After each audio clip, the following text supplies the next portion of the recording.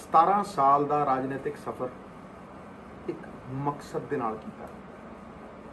ਪੰਜਾਬ ਦੇ ਲੋਕਾਂ ਦੀ ਜ਼ਿੰਦਗੀ ਨੂੰ ਬਿਹਤਰ ਕਰਨਾ ਟੂ ਮੇਕ ਅ ਡਿਫਰੈਂਸ ਔਰ ਮੁੱਦਿਆਂ ਦੀ ਰਾਜਨੀਤੀ ਦੇ ਉੱਤੇ ਇੱਕ ਸਟੈਂਡ ਲੈ ਕੇ ਖੜਨਾ।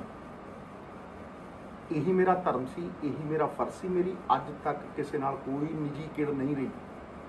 ਨਾ ਹੀ ਮੈਂ ਨਿੱਜੀ ਲੜਾਈਆਂ ਲੜੀਆਂ ਨੇ। ਮੇਰੀ ਲੜਾਈ ਮੁੱਦਿਆਂ ਦੀ ਹੈ, ਮਸਲਿਆਂ ਦੀ ਹੈ ਔਰ ਪੰਜਾਬ ਪੱਖੀ ਇੱਕ ਏਜੰਡੇ ਦੀ ਹੈ, ਜਿਹਦੇ ਤੇ ਮੈਂ ਬਹੁਤ ਦੇਰ ਦਾ ਖੜਾ ਰਿਹਾ। ਔਰ ਇਸ ਏਜੰਡੇ ਦੇ ਨਾਲ ਪੰਜਾਬ ਦੇ ਪੱਖ ਪੂਰਨ ਦੇ ਲਈ ਮੈਂ ਹੱਕ ਸੱਚ ਦੀ ਲੜਾਈ ਲੜਦਾ ਰਿਹਾ। ਇਹਦੇ 'ਚ ਕੋਈ ਸਮਝੌਤਾ ਸੀ ਹੀ ਨਹੀਂ। ਇਹਦੇ 'ਚ ਅਹੁਦਿਆਂ ਦਾ ਕੋਈ ਮਾਇਨਾ ਸੀ ਹੀ ਨਹੀਂ। ਇਹ ਮੇਰਾ ਫਰਜ਼ ਸੀ, ਮੇਰਾ ਧਰਮ ਸੀ। ਇਹ ਮੇਰੇ ਪਿਓ ਨੇ ਇੱਕੋ ਹੀ ਗੱਲ ਦੱਸੀ ਹੈ ਕਿ ਜਦੋਂ ਕਿਤੇ ਵੀ ਦਵੰਦ ਹੋਵੇ, ਸੱਚ ਦੀ ਰਾਹ ਤੇ ਤੁਰ।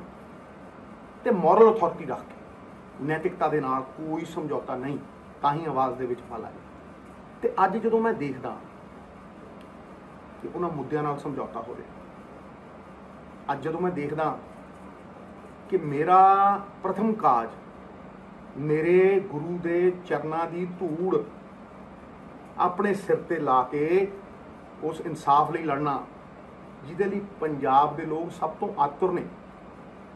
ਜਦੋਂ ਮੈਂ ਦੇਖਦਾ ਕਿ ਜਿਨ੍ਹਾਂ ਨੇ 6-6 ਸਾਲ ਪਹਿਲਾਂ ਬਾਦਲਾਂ ਨੂੰ ਕਲੀਨ ਚਿੱਟਾਂ ਦਿੱਤੀਆਂ ਛੋਟੇ ਛੋਟੇ ਮੁੰਡਿਆਂ ਦੇ ਉੱਤੇ ਤਸ਼ੱਦਦ ਕੀਤੇ,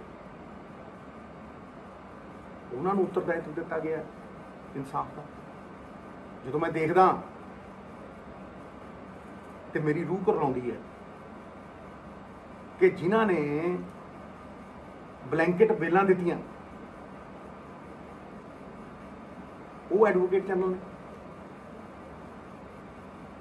ਤੇ ਕੀ ਏਜੰਡਾ ਹੈ? ਪੰਜਾਬ ਦੇ ਹਰ ਮਸਲੇ ਦਾ ਹੱਲ ਵੀਰੋ ਇਨਕਮ ਹੈ। ਜਿਹੜੇ ਲੋਕ ਮਸਲਿਆਂ ਦੀਆਂ ਗੱਲਾਂ ਕਰਦੇ ਸੀ, ਉਹ ਮਸਲੇ ਕਿੱਥੇ ਨੇ? ਉਹ ਸਾਧਨ ਕਿੱਥੇ ਨੇ?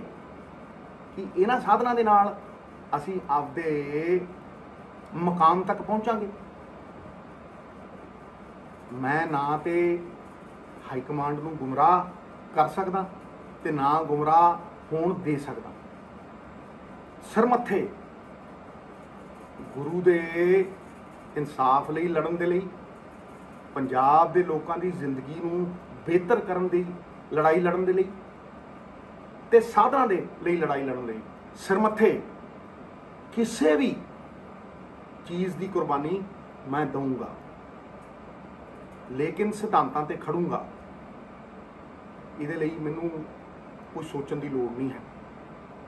ਦਾਗੀ ਲੀਡਰਾਂ ਤੇ ਦਾਗੀ ਅਫਸਰਾਂ ਦਾ ਸਿਸਟਮ ਤਾਂ ਭੰਨਿਆ ਸੀ।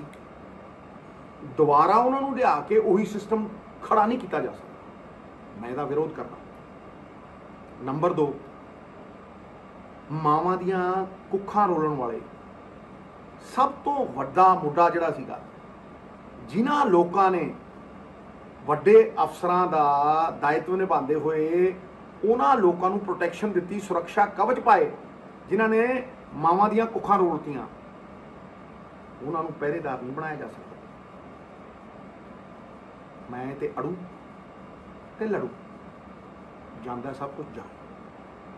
ਉਸੂਲੋਂ ਪੇ ਆਂਚ ਆਏ ਤਾਂ ਟਕਰਾਣਾ ਜ਼ਰੂਰੀ ਔਰ ਜ਼ਿੰਦਾ ਹੋ ਤਾਂ ਜ਼ਿੰਦਾ ਨਜ਼ਰ ਆਣਾ ਜ਼ਰੂਰੀ ਇਹ ਮੇਰਾ ਬਜ਼ੁਰਗ ਲਾਹੌਰ 'ਚ ਜਦੋਂ ਅੰਗਰੇਜ਼ਾਂ ਦੇ ਖਿਲਾਫ ਲੜਦਾ ਸੀ ਨਾ, ਉਦੋਂ ਨਾਰਾ ਬੁਲਾਉਂਦਾ ਸੀ। ਮੇਰੀ ਰੂਹ ਦੀ ਆਵਾਜ਼ ਪੰਜਾਬ ਦੀ ਪ੍ਰਗਤੀ, ਪੰਜਾਬ ਨੂੰ ਜਿਤਾਉਣ ਦੇ ਲਈ ਕੋਈ ਸਮਝੌਤਾ ਨਹੀਂ ਹੈ। ਪਰ the collapse of a man's character stems from the compromise of Waheguru ji ਕਾ ਖਾਲਸਾ, ਵਾਹਿਗੁਰੂ ਜੀ